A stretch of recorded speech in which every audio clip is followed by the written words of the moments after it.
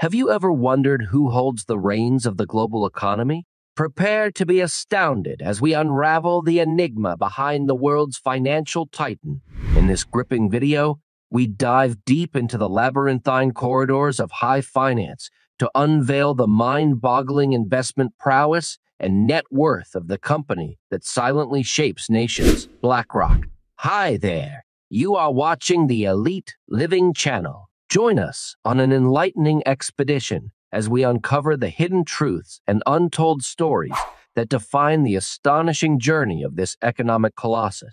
BlackRock was founded in 1988 by Larry Fink. Fink was inspired to start BlackRock after working at First Boston, where he saw firsthand the power of passive investing. Passive investing is an investment strategy that involves buying and holding assets for the long term rather than trying to time the market. BlackRock's first product was the BlackRock Institutional Index Trust, which was an index fund that tracked the performance of the S&P 500 index. The fund was a success, and it helped to launch BlackRock as a major player in the financial markets. In the years since its founding, BlackRock has grown exponentially. The company now has over $10 trillion in assets under management, which makes it the largest asset manager in the world. BlackRock invests in a wide variety of assets, including stocks, bonds, real estate, and alternative investments. The firm offers a variety of funds and portfolios, investing in vehicles such as equities, money market instruments, and fixed income.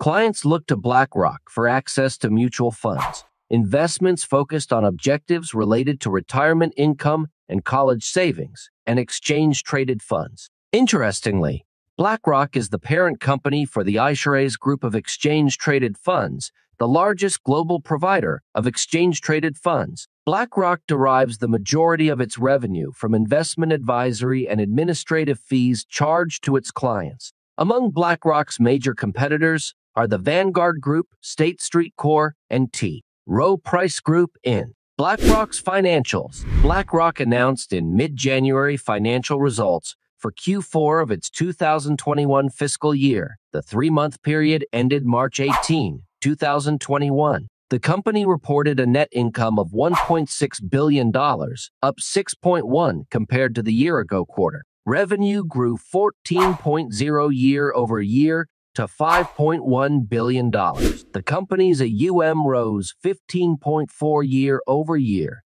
to a new high of $10 trillion.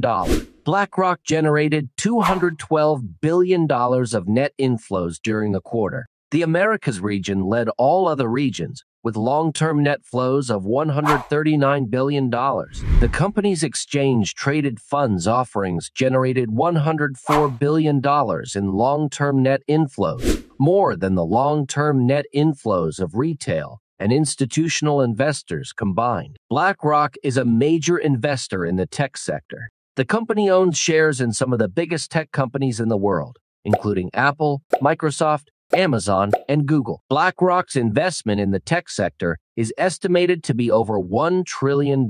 BlackRock's investment in the tech sector is spread across a wide range of companies, which helps to reduce risk. The company is bullish on the tech sector because it is constantly evolving and innovating, which creates new opportunities for growth. The tech sector is also global which gives BlackRock access to a large pool of potential investors. Additionally, the tech sector is relatively young, which means that there is still a lot of growth potential.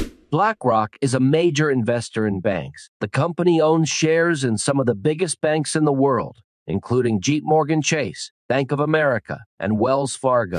These banks are all systemically important financial institutions, SIFIs, which means that they are considered to be so large and interconnected that their failure would have a significant impact on the global financial system. BlackRock's investment in banks is estimated to be over $500 billion. The company owns shares in some of the biggest insurance companies in the world, including Berkshire Hathaway, AIG, and MetLife. These insurance companies provide essential services to businesses and individuals, such as life insurance, property insurance, and health insurance. BlackRock's investment in insurance companies is estimated to be over $200 billion.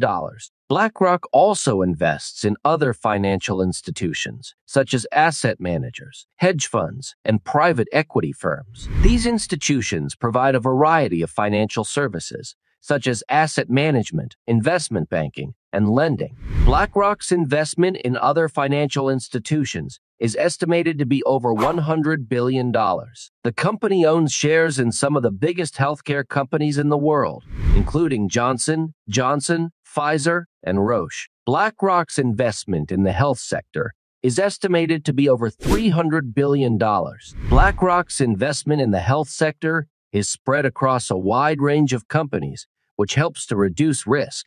The company is bullish on the health sector because it is a critical part of the global economy. The health sector provides essential services to businesses and individuals, and it is a major driver of economic growth. Although the exact amount of money it has invested in Ukraine is not yet disclosed. Global Asset Management BlackRock will coordinate investment in rebuilding Ukraine's economy, Kiev announced on Wednesday, following a meeting between President Volodymyr Zelensky and BlackRock CEO Larry Fink. The government confirmed that the Wall Street Titan agreed to coordinate the efforts of all potential investors and participants in the reconstruction of our country. As a result of the agreement, BlackRock will channel capital into multiple sectors of the Eastern European country's economy. Since an initial meeting between Zelensky and Fink in September discussing the transfer of public and private investments into Kiev, the two sides have been working on a comprehensive project advising the government in how to structure the nation's reconstruction funds. In November, the Ukrainian Ministry of Economy, MO, and BlackRock Financial Markets advisory signed a memorandum confirming the plan. BlackRock FMA will advise the MO on establishing a roadmap for the investment frameworks, implementation, including identifying design choices for the envisioned setup, structure, mandate, and governance, the $8 trillion asset manager said in a statement last month. This comes a week after Zelensky visited Washington to meet with President Joe Biden and deliver an address to Congress. The House approved a $45 billion aid package for Ukraine. In the ever evolving world of finance, one entity stands as a testament to the power of strategic investment and global influence. Thank you for joining us on this journey of discovery. If you found this video insightful, don't forget to like, subscribe, and hit that notification bell.